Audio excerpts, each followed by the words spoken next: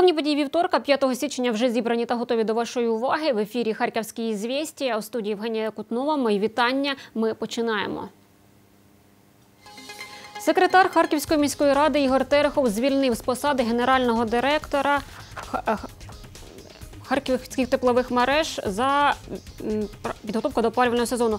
Харківводоканал оновлює парк спецтехніки. У 2020-му за кошти міського бюджету придбали 16 машин, а за 4 роки купили 50 спеціалізованих автомобілів. Всі вони вже у роботі у районах міста. У Харкові відновили мурал із зображенням українського співака Андрія Кузьменка, більш відомого як Скрябін. Також наразі оновлюється стінопис Тараса Шевченка.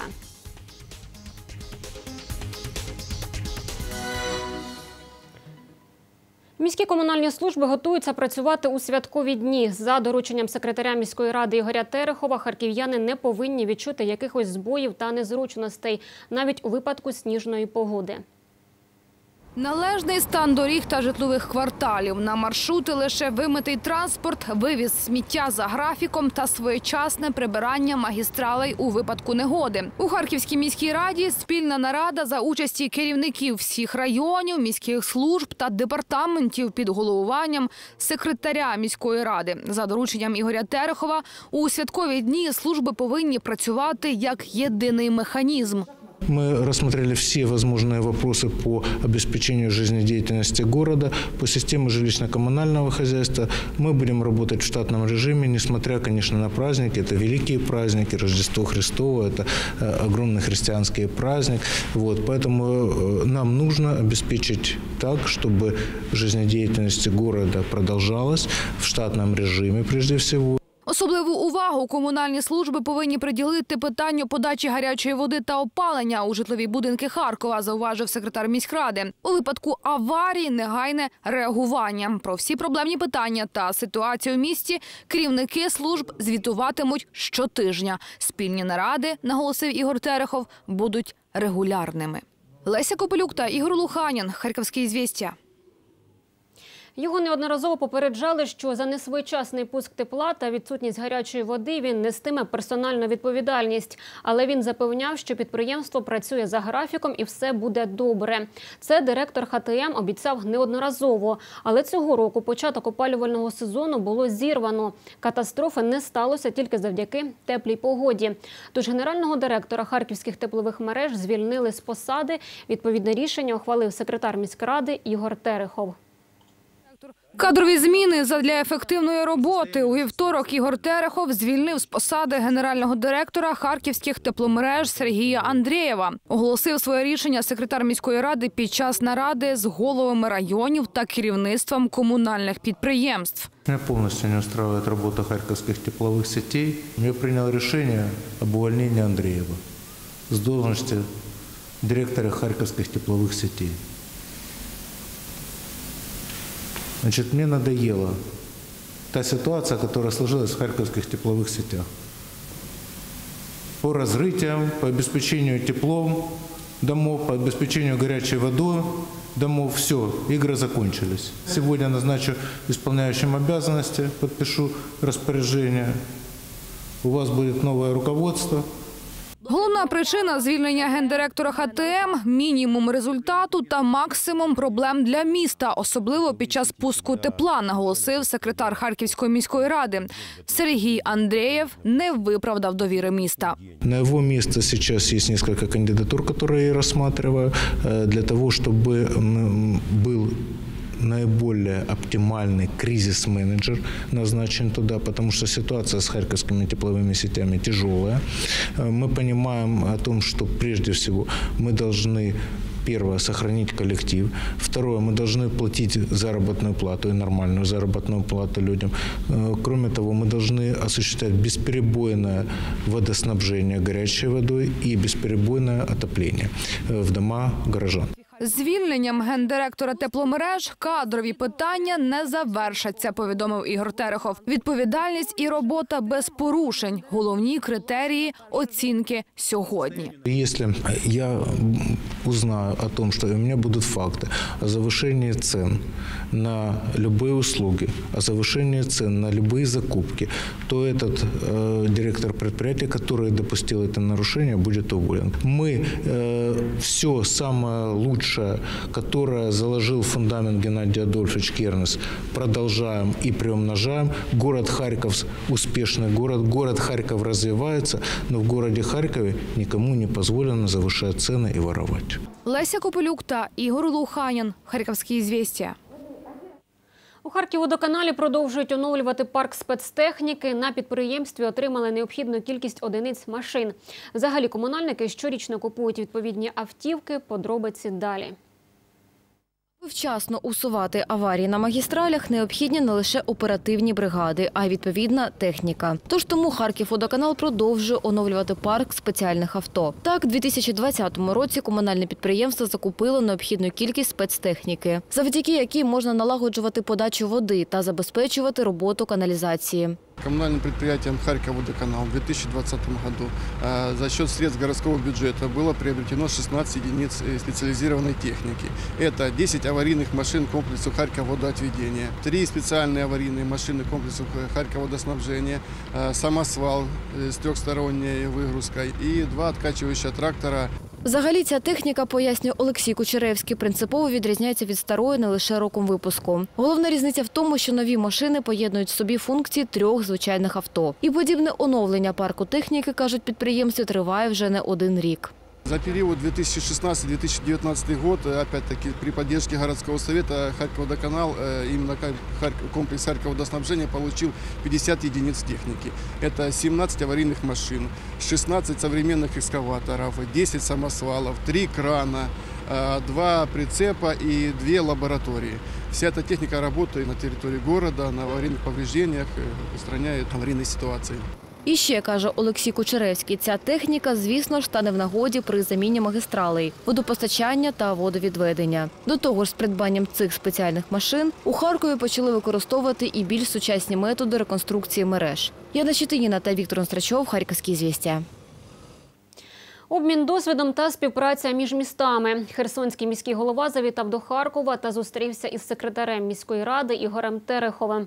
Як відбулася зустріч та про що говорили сторони, бачила наша знімальна група. У Харкові з робочим візитом мер Херсона Ігор Колихаєв, в рамках якого зустріч із керівництвом міста, зокрема із заступниками міського голови, які презентували проекти розвитку та життєдіяльності мегаполісу. Управлінці розповіли про досвід Харкова, що напрацьовувався довгі роки. Мова йшла про соціальну сферу, розвиток транспортної інфраструктури, діджиталізацію міських сервісів та молодіжну політику, роботу центрів надання адміністративних послуг та співпрацю з міжнародними організаціями. Цель моего визита э, действительно взять э, опыт э, всех городов, в том числе я считаю, что город Харьков один из передовых э, городов и по рейтингу, и по структурированию, и подбору э, специалистов, которые каждый человек находится на э, своих э, местах. Я честно хочу сказать, перед всеми э, ими снимаю э, шляпу, э, говорю это от души, говорю это искренне. Я думаю, что мы найдем э, и те рекомендации, которые полезны как и для меня, и для моей команды людей. И может мы найдем специалистов, которых э, профессионалов мы пригласим в свою команду на какой-то период времени, а может на постоянный период времени, чтобы все-таки дать новый толчок для города Херсона. Далі проекти стосовно життєзабезпечення міста більш детально мер Херсона обговорив із секретарем міськради Ігорем Тереховим, який відзначив, що не дивлячись на високі результати, Харкову є над чим працювати. Тож у планах розвивати місто і надалі. Серед проєктів будівництво сучасної транспортної інфраструктури у різних районах міста та масштабна програма розбудови житлово-комунального господарства. Нам еще над чем работать. Вот. Есть очень много программ, которые мы сегодня внедряем совершенно по-новому. В частности, мы изменяем сегодня вообще философию, которая есть по внутридомовым пространствам. Э, У нас запланирован цел- целый комплекс работ и программа специальная по так называемым спальным районам. Потому что центральную часть мы более или менее привели в порядок. Сейчас еще будем одну локацию делать зеленую, очень интересно. Думаю, что харьковчанам она понравится, гостям города понравится. Э, Изюминка, к- которую мы сегодня будем творить, это зоопарк. Вот. Зоопарк мирового класса. Уже много работ сделано. Мы рассчитываем 23 августа открыть. І це, каже Ігор Терехов, плани тільки на цей рік. Мер Херсона, у свою чергу, відзначив, зміни на краще в Харкові значні. Город Харьков, я считаю, что он э, преобразовывается буквально на глазах. Что мне нравится? Ну, мне нравится динами- динамика развития. Что э, поразило, это действительно чистота города э, и определенные моменты комфорта, уюта. э, Тот, который сейчас есть, и то, что сейчас фактически делают харьковчане, м, начиная от инфраструктурных э, э, проектов и заканчивая м, административных услуг, э, которые ну, м, достаточно находятся на э, высоком уровне. Марія Соловйова та Олександр Іванов. Харківські звістя. Протистояння активістів та спроба захоплення обласної державної адміністрації. Ці події лягли в основу книги міністра внутрішніх справ Арсена Авакова Миттєвості харківської весни. На презентації побували і наші кореспонденти. Міністр внутрішніх справ Арсен Аваков надав українцям свій погляд на події 2014 року. У Харкові урядовець презентував книгу Миттєвості харківської весни. У виданні представлені матеріали, які раніше були засекречені. Це плани захвату обласних адміністрацій та інші документи, які зберігалися у міністерстві. Дополнительно это тоже новинка. В этой книге мы даем э, несколько телефонных переговоров, перехваты, э, э, засекреченные перехваты тех дней, которые делали наши спецслужбы. Э, эти телефонные разговоры э, официально рассекречены за месяц до выхода этой книги, и мы получили разрешение их публиковать. Здесь вы сможете их увидеть, они есть некоторые расшифровочки, и такой есть штрих-код. По штрих-коду вы это сможете э, попасть на аудио э, файл, и там послушать голоса этих людей, которые обсуждают создание ХНР, что делать и так дальше.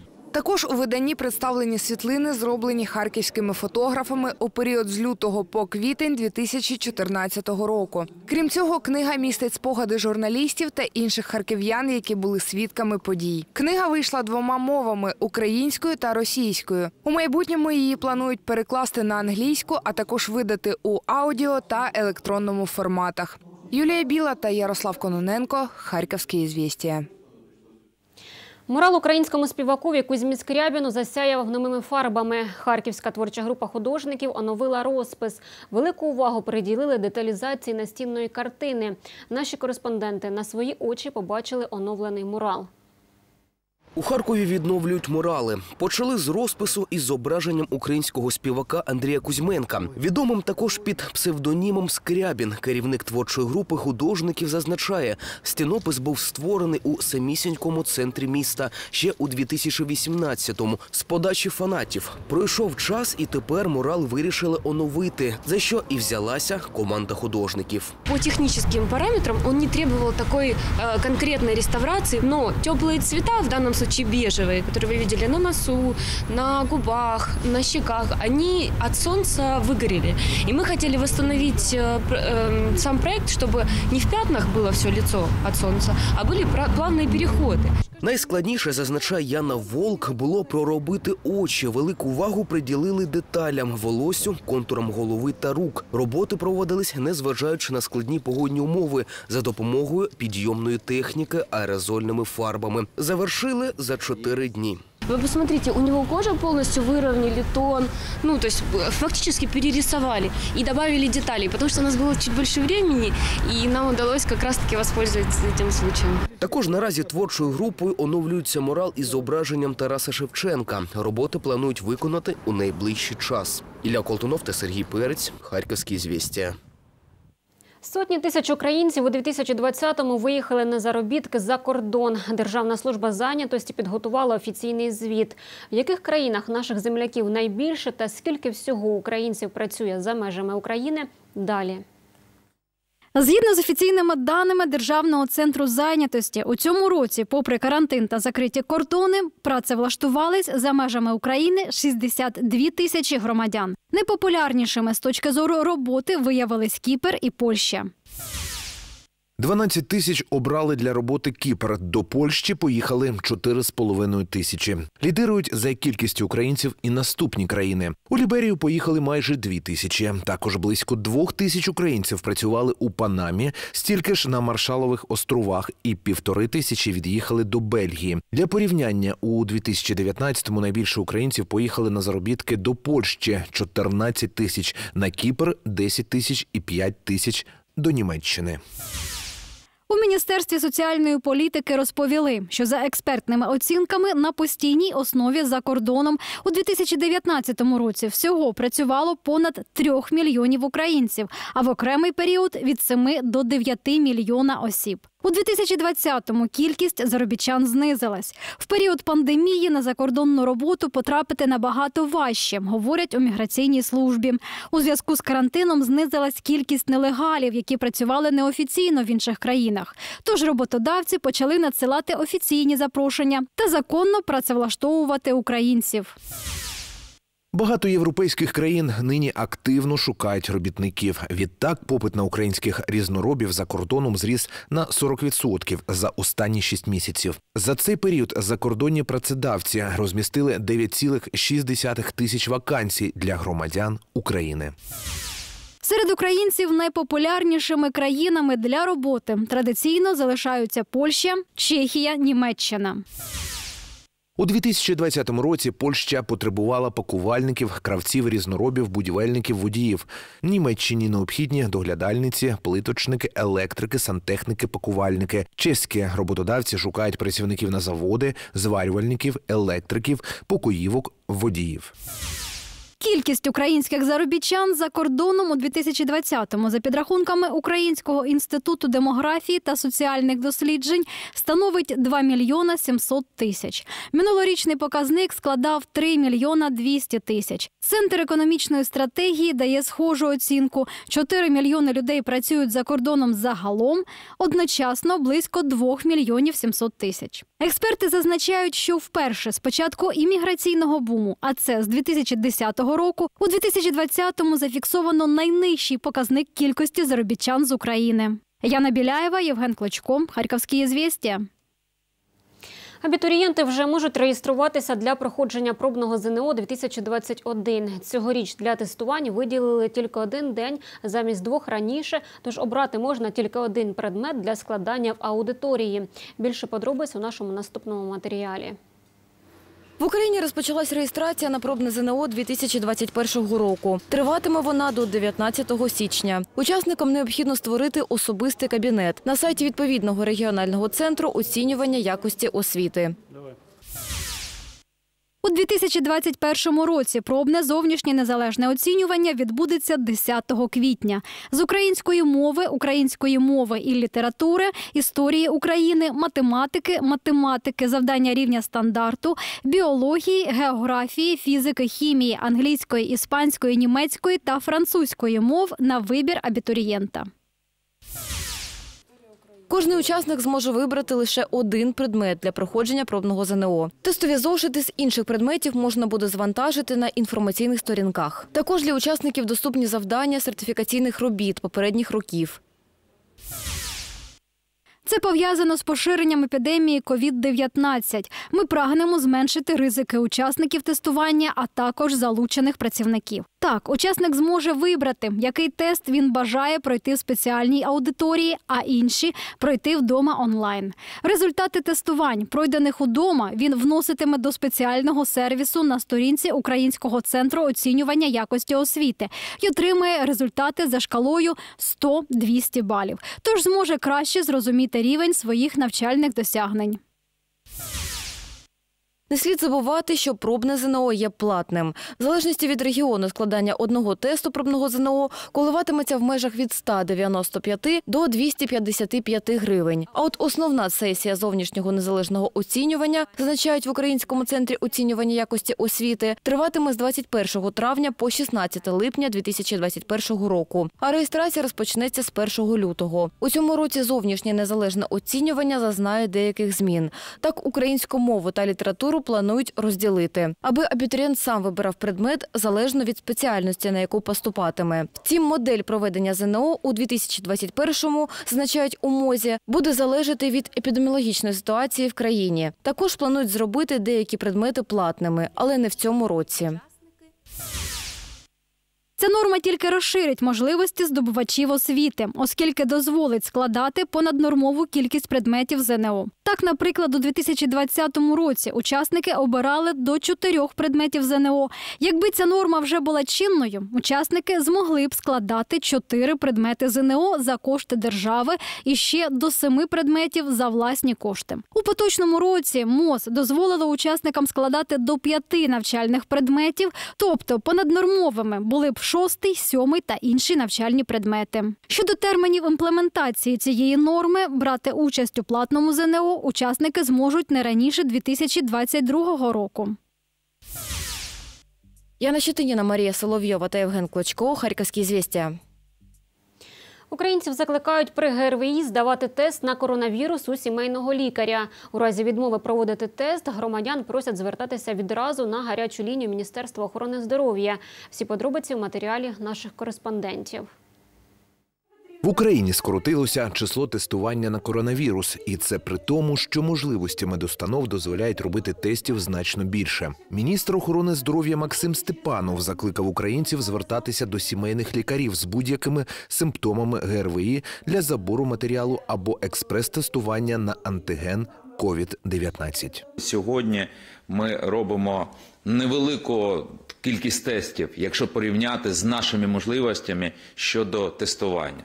Хочу нагадати, що наші можливості тільки по ПЦР, ПЛР тестуванню і тільки в лабораторіях Міністерства охорони здоров'я складають вже не менше 55 тисяч тестів на добу. А ще приватні лабораторії, яким ми готові сплачувати кошти за тестування. А, ще лабораторії, які знаходяться в наших лікарнях. Тобто ця кількість, як ми говорили, що ми виходимо десь близько на 70-75 тисяч тестувань методом ПЛР на добу. Але в той же час ми бачимо, що ця кількість менша. Максим Степанов також нагадав, що окрім ПЛР-тестування було запроваджено експрес-тестування на антиген, що необхідно проводити людям з будь-якими симптомами ГРВІ. Міністр також додав, що в разі відмови сімейного лікаря потрібно звертатися на гарячу лінію Міністерства охорони здоров'я. Також, окрім симптомів. На острі респіраторне захворювання ще ми тестуємо швидкими тестами всіх людей, які перебували в контакті з підтвердженим хворим на COVID-19. Отже, мова йде про ваше здоров'я, мова йде про те, щоб відразу поставити відповідний діагноз. Якщо ми встановлюємо відразу діагноз, то звичайно набагато краще і прогноз, і прогноз здоров'я по здоров'ю, і прогноз інколи по життю. Тому, будь ласка, не нехтуйте цією процедурою. Ігор Безкровний та Євген Клучко. Харківські звістя. Вже за кілька місяців ціни на тютюнові вироби почнуть зростати. Мінімальна вартість пачки сягатиме 50 гривень. Більше того, цигарки для пристроїв з нагрівальним елементом прирівняли до тютюну. Відповідно, ціна на них також зросте. У січні акцизи на сигарети в Україні виростуть на 20%, а це означає, що вже через кілька місяців тютюнові вироби подорожчають в середньому на 8-12 гривень за пачку. Таким чином, мінімальна вартість українських цигарок наблизиться до позначки у 50 гривень. Подорожчання сигарет зумовлено поправками до податкового кодексу, що були внесені для виконання директиви ЄС, згідно з якими сигарети будуть дорожчати кожен рік аж до 2020 2025 року і будуть коштувати 100 гривень чи більше, але як у Європі. Про Протягом 2021 року вартість пачки сигарет із фільтром зросте до наступних показників. Пачка українських цигарок подорожчає на 7 гривень 90 копійок до 49 гривень 40 копійок. Пачка сигарет середнього класу на 8 гривень 90 копійок до 57 гривень 80 копійок. Пачка преміум класу на 12 гривень 10 копійок до 66 гривень 80 копійок. Цілому акциз з 949 гривень за кілограм зріс до 1139 гривень. Також січня виросте ціна стіків для нагрівальних пристроїв типу Айкос і рідини для електронних сигарет. Верховна Рада у грудні вирішила прирівняти акцизи на всі типи сигарет.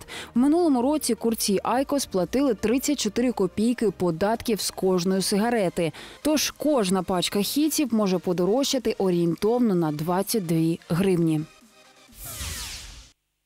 З приводу доходів бюджету ми маємо результати дослідження Київської школи економіки. Вони підрахували, що згідно з тими ставками, які запрацювали з 2021 року, Україна отримує акциз від сигарет з електронним елементом нагрівання в розмірі 7 мільярдів гривень. Для розуміння, в 2019-му було до 1 мільярда. Завдяки зростанню акцизів сума, що надходить до бюджету, зростає, а кількість курців зменшується. Марія Соловйова та Євген Клочко. Харківські звістя. Стрільба з харківських вікон набирає обертів. Така розвага серед стрілків спостерігалася і у святкові дні. У місцевих телеграм-каналах є не одне відео таких постріляшок. Відзначилися не тільки чоловіки, а й представниці прекрасної статі. Правоохоронці повідомили, що інформацію за вказаними фактами зареєстрували у єдиному обліку територіального підрозділу поліції. Проводять перевірку.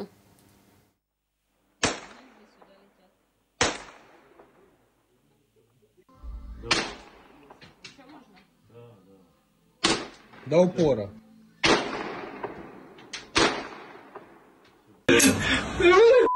Она без обоймы еще.